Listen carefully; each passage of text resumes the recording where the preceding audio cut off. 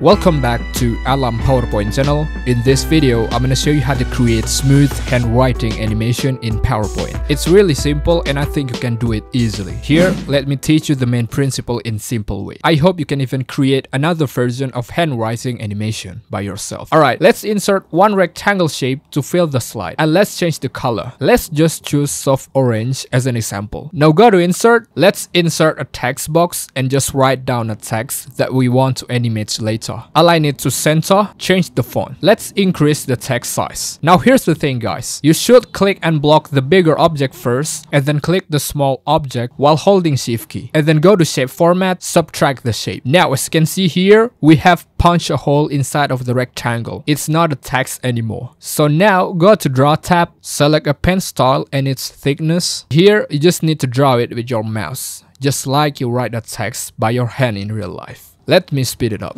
Once you're done, click on this cursor icon, click on random object and then open shape format. Click on selection pane. Selection pane is basically a pane that allows you to view and manage individual objects position. Example, whenever you click this eye icon in the pane, the object can be visible or invisible. Alright, now select and block all of the objects with draw before one by one and then go to animation, click on replay.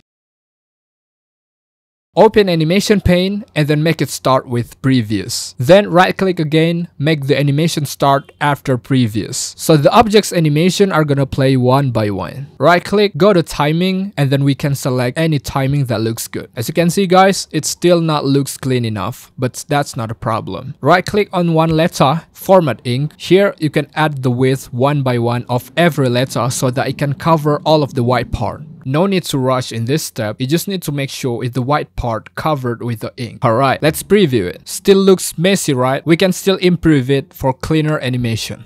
To make it cleaner, go to selection pane and then bring the background to the top. Now it'll look something like this. Alright guys, as you can see here, the white hole is still there. To get rid of it, you need to insert one identical shape like your background. So insert one rectangle and then change the color so that it matches the background. In selection pane, bring the shape to the bottom of every other objects. Then move it like this so it stands like a background. Alright now, in preview mode, we can see we have a perfect smooth handwriting. Easy right? You can practice it by yourself. By the way, we have another cool to the point tutorial. Feel free to subscribe for more. I'll see you guys in the next video. Thanks for watching.